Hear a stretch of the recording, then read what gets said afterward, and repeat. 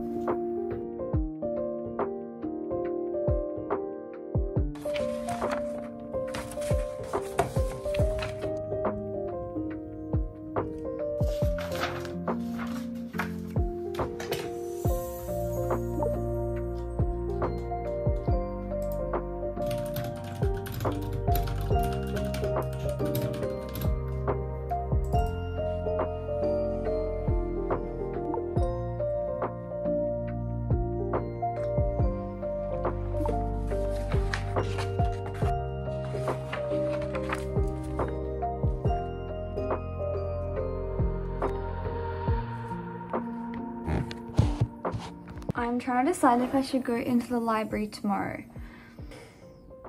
I don't have class, but I feel like I will get more done from there because today I studied at home and I didn't really get that much done. Actually, I'm gonna see if my friend wants to come and then decide based on that. Okay.